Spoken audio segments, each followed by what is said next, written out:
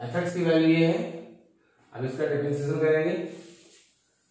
Differentiate with respect to x तो ये f dash x minus two x का differentiation one differentiate with respect to x value में हम constant का zero f dash x की value क्या आ गई? माइनस टू इसका मतलब एफ़ डैश एक्स का मान ज़ीरो से कैसा है? छोटा है।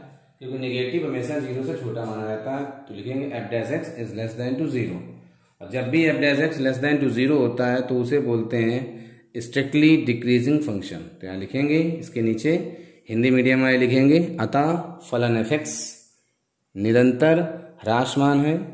और इंग्लिश मीडियम में लिखेंगे so the function f so the function f x is strictly decreasing on R R क्या है? Set of all real number question यहाँ से कंप्लीट होता है।